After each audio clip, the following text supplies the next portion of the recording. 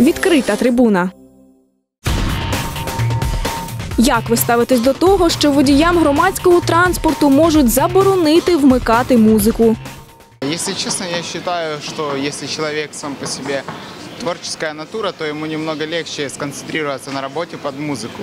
Я считаю это неправильно. Они должны слушать музыку, если им это помогает сконцентрироваться. Сам по себе знаю просто. Это намного легче в дороге, когда едешь, к примеру, то легче сконцентрироваться. Э, Я думаю, что, в принципе, музыка, ну, она не, как бы, она поднимает настроение, когда люди едут на работу, но э, в большинстве случаев она отвлекает водителей. И, э, я думаю, для лучшего, безопасного нашего пе- перевозки людей это не нужно.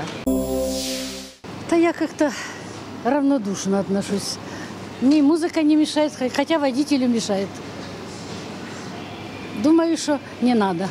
в большей части положительно.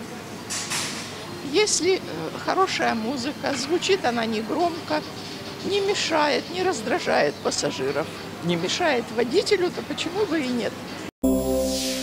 Ну, є, є, є, якщо, якщо йому не, мі- не заважає музика, то чому б ні? Мо- Може включати, може не включати. Ставлюся так е, не, не- дуже хорошо. Я вважаю, що музика повинна бути в салоні. Вона уютно, е, на- як кажуть, на людей е, розполагається. Їм хорошо чувствувати музику, їдеш собі. Це ж радость.